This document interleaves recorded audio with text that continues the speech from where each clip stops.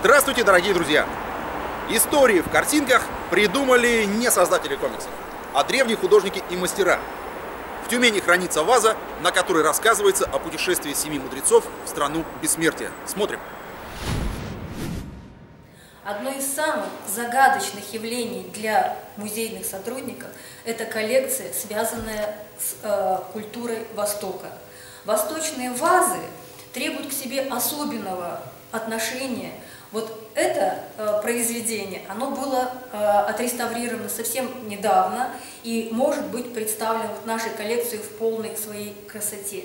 Здесь сюжет э, благопожелательной символики – изображены семь мудрецов и их путешествие в страну бессмертия.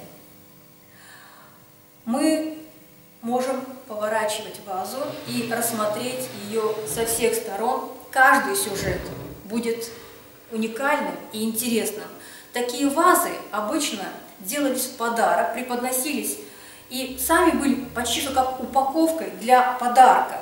И делались всегда парно и хранились в паре, как бы этим символизируя полноту бытия. Но в современных музеях, в современных коллекциях чаще всего мы видим только одну вазу. В период революции и в Китае э, пары были разбиты и э, вывезены контрабандно э, по одной вазе.